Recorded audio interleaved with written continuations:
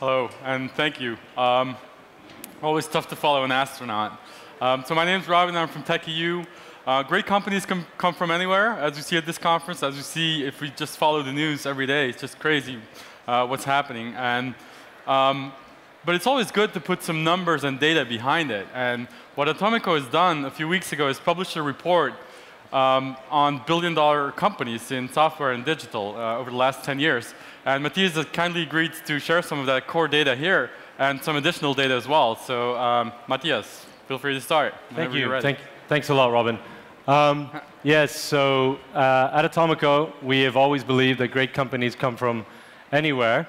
And um, with the rate of change that we're seeing in the, in the industry, it's kind of hard to know what that really looked like. So we did our homework, we spent some time, we looked at the data of billion dollar companies being created over the last 10 years, and what we came up with, or what we saw, was really surprising and exciting. So I'm going to go through an animated uh, presentation here, and you can see at the bottom there, left-hand corner, the number of billion-dollar companies are increasing as the time is increasing here from 2003 to 2012, and then we're seeing the growth of these these billion dollar companies in different parts of the world. And, and then we, we end up with a number of 140 billion dollar companies that have been created over the last 10 years. And there's, there's two things that are really striking about this. First of all, we can see that there's more billion dollar companies being created outside of the Silicon Valley than in the Silicon Valley. And I think that came as a surprise to a lot of people. The other thing um, that we obviously uh, can see is that the Silicon Valley still is an extremely important hub in our ecosystem. You know, there's a lot of genuine, strong innovation being created there. Then we looked at the trajectory. And, and this is where I find it absolutely fascinating because we can see uh, here this lovely hockey stick that's being created. And, and and, and what's cool is that outside of Silicon Valley, the acceleration is just getting quicker and quicker. So the gap between companies created in the valley and outside the valley is getting bigger, and it's becoming, there's more and more being created outside of the valley. And then we looked at value. So where, you know, that's a total number of companies, but where is the value? So inside, again, if we look at those two um, black uh, boxes, you can see that 61% of the companies are created outside of the value, uh, outside the valley. But you can see also that 65% of the total value is happening within the valley. And, and so what we see there is an opportunity for the companies outside of the valley to create those, not just a billion dollar company, which we're seeing a nice trajectory on, but now we're moving into the 10, the 20, the 50, the 100 billion dollar companies. That's the next phase. And, and then we had a look of looking at population. You know, where, where are the billion dollar companies being created per 1 million people? And in the Valley sets the benchmark again. There's 6.9 billion dollar companies created per a million people. But actually, Stockholm comes very close. So they're actually doing a, given their size, they're doing a great job. And so what's interesting about these hubs is that they have the right um, uh, ingredients to create the success. And that is they have the availability of capital, they have availability of talent, but also they have the government-friendly regulated environment. And, and um, that has allowed them to have success, creating more success, and creating that lovely snowball effect that actually uh, is one of the hallmarks of, of, of the valley. But we also see a lot of opportunity here for, for, these, for these other hubs. And from the experience that I've seen is that in, in, in some of these other countries, there's a lot of smaller companies that are still in, you know, in, in, in, in the perspective of tech, still very big companies that are coming through. And, I don't, and I'm, I'm pretty proud of what's happening in Scandinavia, if you look at Helsinki on there and Stockholm, I think that there it's truly a homegrown talent. You know, it's not, there's no importation or anything like that. There's actually homegrown talent that's building these opportunities. And, and, um, and what I also believe is that if a, if a, if a city like Stockholm is able to do, build this type of success, it's quite obvious that these other cities are going to be pretty close by and building uh, the next hubs.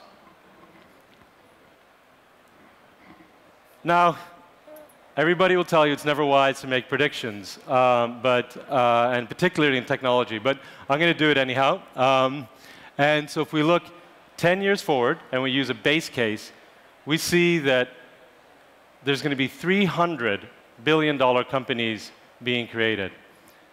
And, and as you can see, this maps it out. It shows that it's, it's very balanced.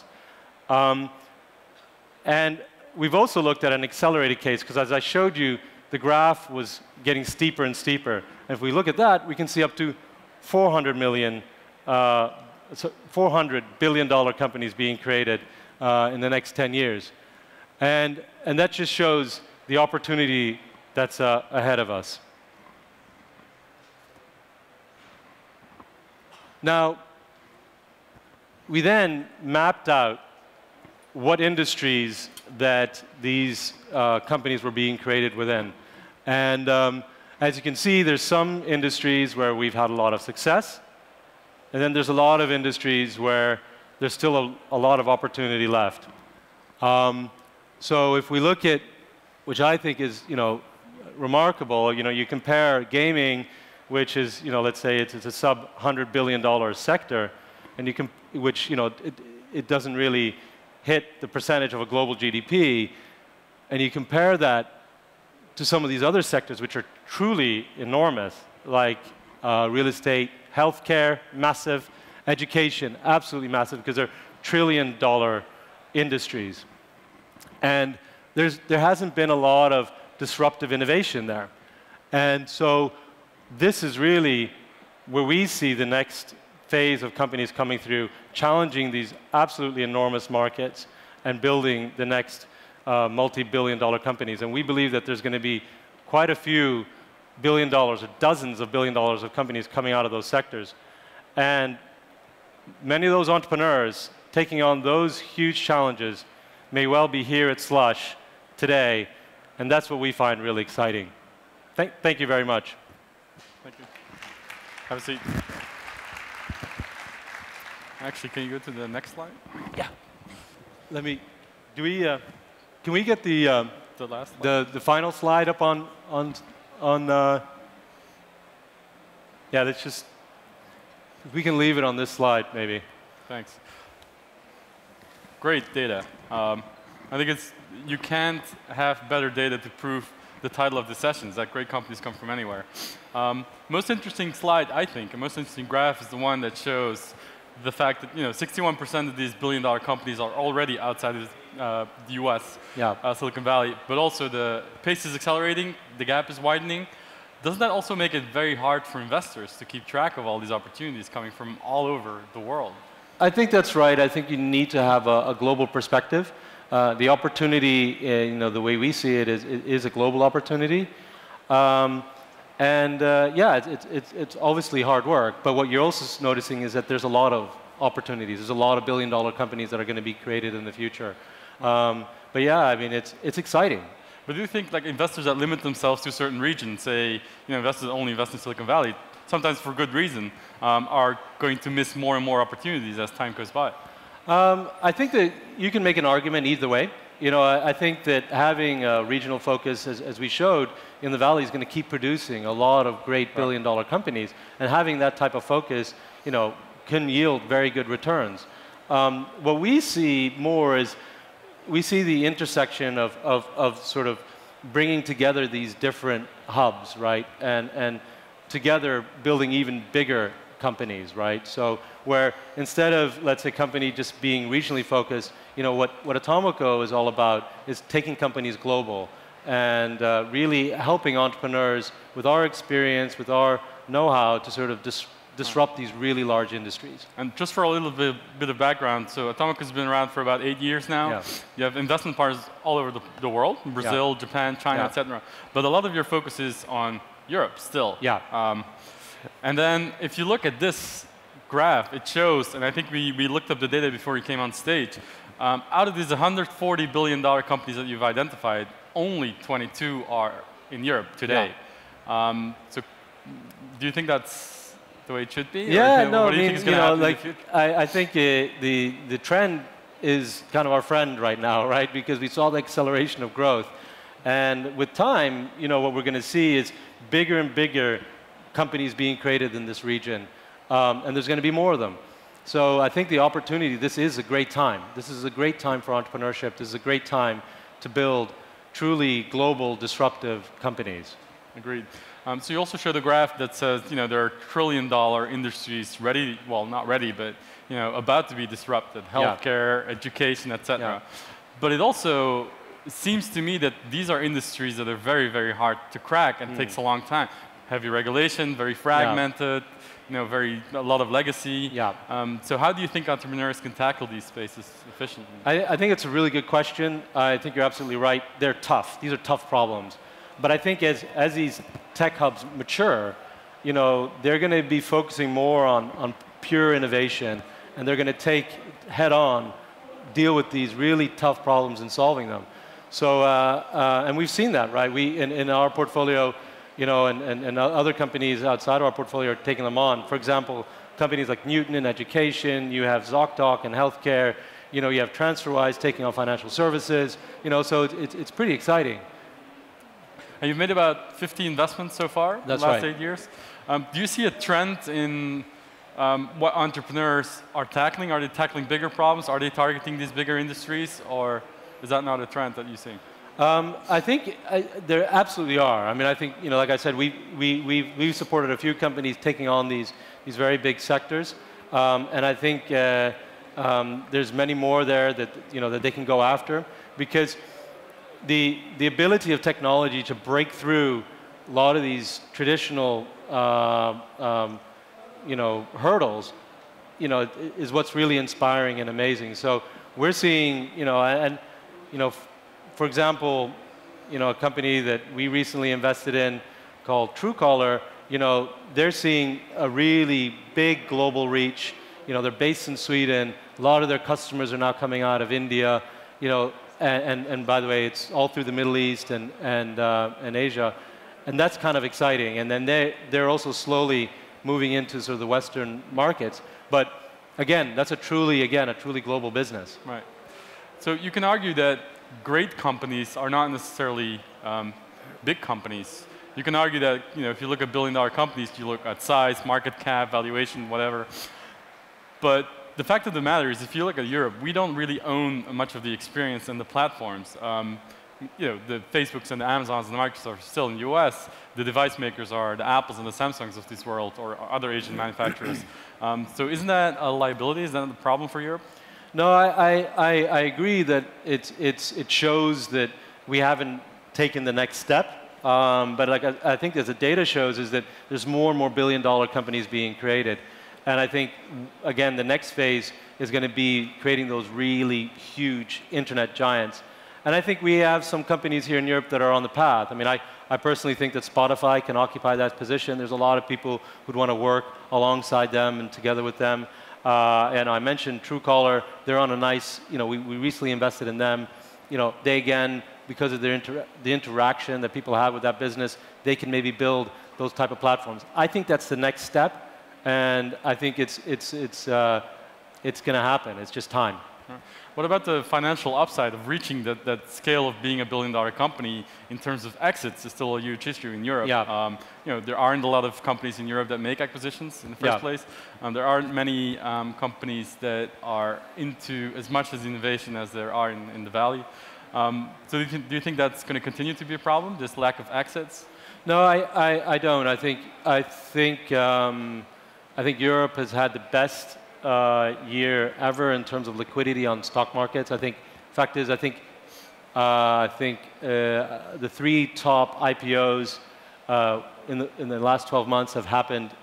Two of them have happened in Europe. The, the one that didn't happen in Europe was Alibaba. But you know, like it just that's pretty good. You know, we're we're playing that kind of game. That's very good. And I think success breeds success. You know, as we build more billion dollar companies, well, they'll become acquirers, right? And there'll be, there are acquirers out there today that, that or will be acquirers in the future that, uh, that we can't, you know, we can't identify today. Right. But again, I mean, I'm playing kind of devil's advocate because I'm obviously very, very enthusiastic about yeah, Europe. Yeah, yeah. But, but, if you look at the companies that, for example, the ones that have IPO'd recently, yeah. um, Zoopla, Just Eat, or yeah. King, are these really the companies that are making a huge impact? They're making money, they have a good business, they're growing. Yeah. But are these really the, the, the Teslas and the Google of the, this world? I mean, they're gaming, they're food delivery, they're real estate search.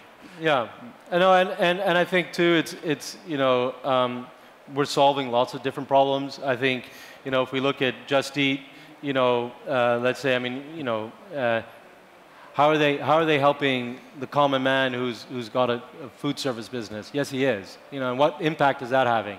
And I think also again, these people become role models, and there's new, like I said, I think people will take on bigger and bigger challenges. You know, and that's what's exciting. You know, as, as they they look to other sectors and they focus on pure innovation. You know, um, I, I I'm, I'm very excited about it, and I think it's just the beginning. Right. So you've worked with a number of entrepreneurs that have scaled their businesses to these billion-dollar um, valuations or, or, market caps. Um, so what advice do you, because there are a lot of startups in the room, I imagine, what advice do you have for um, younger or starting entrepreneurs um, on this path to building that kind of company? And I think, I think the main thing is, is um, just believing, I, mean, I, I don't think there's a, a single path each person has to choose their own path on this way. And I think um, that is really the, the most important thing. I mean, we never believe that there is a, there is a textbook of, of disruption because that doesn't make any sense, mm right? The whole point is that every time we're doing something different and, and taking on a bigger challenge. So I, I, to me, it's like, you know, staying true to what you believe in. I think at the same time, too, it's about surrounding yourself with smart people constantly. And that could be on, you know, as advisors or, or even, you know, people working for you. Get smart people. And then it's, it's about also, you know, daring to take that challenge, to take that leap, you know, to sort of look at the abyss and sort of say, hey, look, I'm going to I'm gonna jump. Right. And, and then I'm going to you know, see where it takes me. Because I think it is a very, entrepreneurship is a very lonely place. But the rewards, as we can see, this is, you know, the trend is, is, is really interesting. Right. Uh, and, you know, we, we, before we looked at the data, you know, we, we had the hypothesis and so on. But, you know, this, to me, makes me even more excited. Right. Um, same question asked slightly differently. Um, what are some of the mistakes that you've seen entrepreneurs make? Even, you know, even those who built these billion-dollar companies probably make more mistakes than, yeah. uh, than anyone else along the way. But what, what, what are some of the major mistakes that you've seen people make? I think mistakes are a great thing, by the way. Everybody should make mistakes. So, so I, I, I, I, to me, it's just like, yeah, keep making mistakes, you know, and enjoy it. Enjoy that, you know, slap in the face and, you know, kick in the gut, and that's part of entrepreneurship. You know, it, it's, it's never going to be easy. I bet, you know, every one of those, I mean, because it's a fun thing, right? These are circles, and we, we kind of look at them as circles, but those are people. People right. have created those companies. People have fought hard, and, they've, and took on average six years to get there. You know, and it's never been a, a, clear road. And anybody who thinks that it was just like I woke up one morning and the next thing you know I was a billion dollar company, no, they fought. And it's grit, it's hard work, but the, but the, the, the ability to, to sort of have an impact on, on these great industries, which we can do today, because this is what technology is showing us. We can have that impact. Right. That's what's exciting. Great. Um, you mentioned that it's very, very um, risky to make predictions, but you showed the slide anyway that shows, you know, hopefully get to 300 billion uh, dollar companies in yeah. by 2024. Um, where do you think most of these companies will be coming from, geographically speaking? Yeah, I mean, I mean, as you saw, we, we I think that the spread is going to be fairly, fairly even. Um, I think that you know the valley will always remain a massive hub, but we'll see other really big hubs happening there. With like again, there's going to be some huge great internet giants being created in different parts of the world. And then there's areas that, let's say in the last, last 10 years, we haven't seen billion dollar companies come out of Latin America or Africa or the Middle East. You know, I think that those regions, you know, uh, uh, even in a base case, you know, they'll, they'll create at least two billion dollar companies. And if we're aggressive, you know, they might, maybe they'll create 10. And so it's going to, this is, this is what's the beauty with technology. It's distributed, the information, the work that you're doing in terms of, you know, informing people of what's going on where. This is being digested by everybody in different parts of the world. And, and so it's, it's creating this leveling playing field.